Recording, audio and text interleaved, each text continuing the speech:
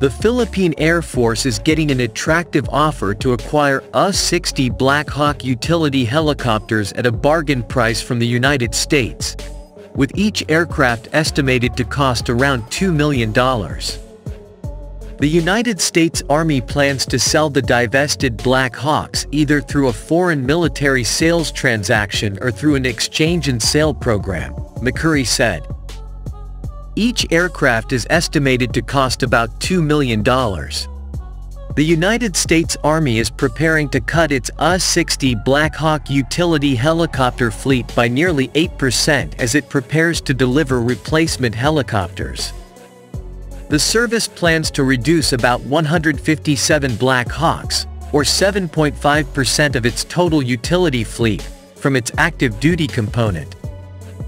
The United States Army also has plans to replace the Boeing-made AH-64 Apache attack helicopter with the Future Attack Reconnaissance aircraft.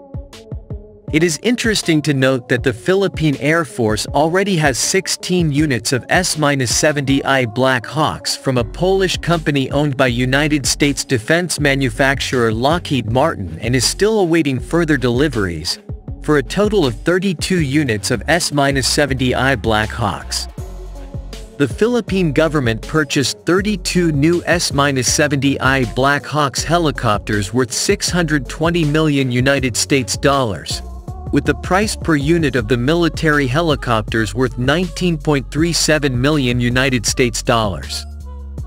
With the United States offering to sell the UH-60 Black Hawk for about $2 million, the Philippines should consider purchasing more units.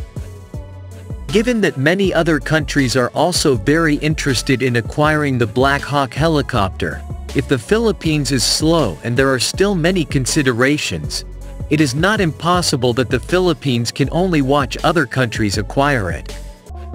As is known, over the past few decades, Manila has sought to modernize its broken military equipment, featuring Vietnam War-era helicopters and World War II naval vessels used by the United States. The aircraft are needed for humanitarian assistance and disaster response. The lack of transport aircraft and helicopters has never been more acute during the pandemic and after Typhoon Odette. This was exacerbated by our aging Huey, which became uneconomical to maintain, Mr. Lorenzana said. The government last year finalized an order for 16 S-70I Black Hawk units to replace the Air Force's fleet of Bell UH-1H helicopters, commonly known as Huey, after a fatal accident. Many of them were acquired as surplus from the United States, Manila's longtime military ally.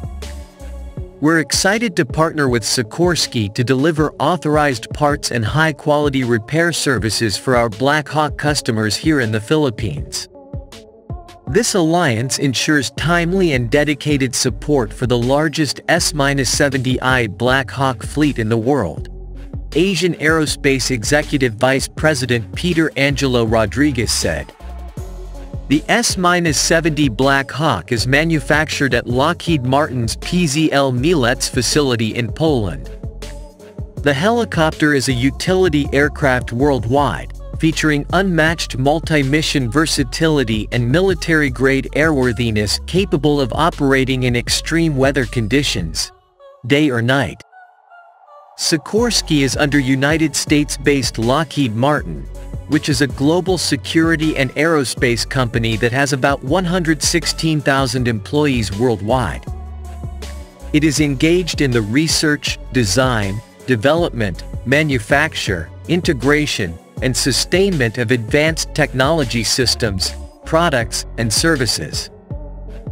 Based on its website, Asian Aerospace has business interests in aircraft charters, aircraft service, aircraft distributorships, fixed-based operations, and aerospace and ground support equipment. The Philippine Air Force is currently awaiting the continued delivery of S-70I, Black Hawk, combat utility helicopters from Poland. Now that we have entered the month of December, can the delivery of the previously planned 5 units in 2023 be delivered according to the previously signed contract? 32 S-70I Black Hawk combat utility helicopters will be delivered to the Philippine Air Force in four batches. 5 units in 2023, 10 units in 2024, 10 units in 2025, and 7 units in 2026.